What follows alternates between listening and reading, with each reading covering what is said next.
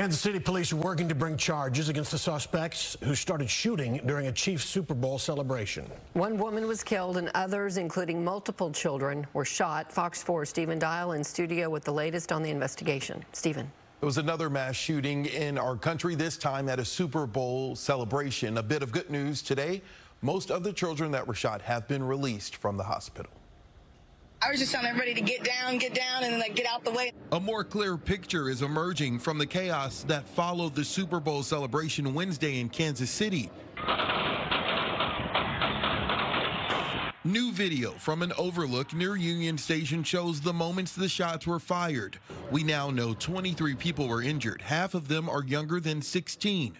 One victim, 43 year old Elizabeth Lisa Galvin, a radio DJ, was killed. Preliminary investigative findings have shown there was no nexus to terrorism or homegrown violent extremism.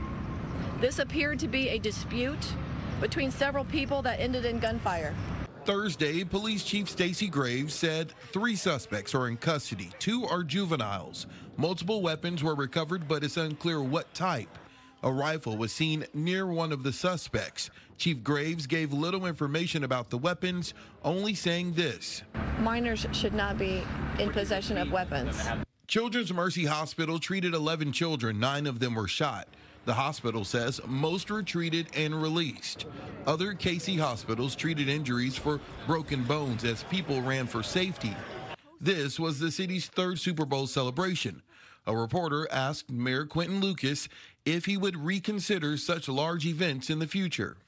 We had a Kansas City Royals victory parade where we had almost no arrests in 2015. So I don't think in any way that this is Kansas City. I do think that there's a gun violence challenge in this community and many others, and there certainly is a gun violence challenge as it relates to major events.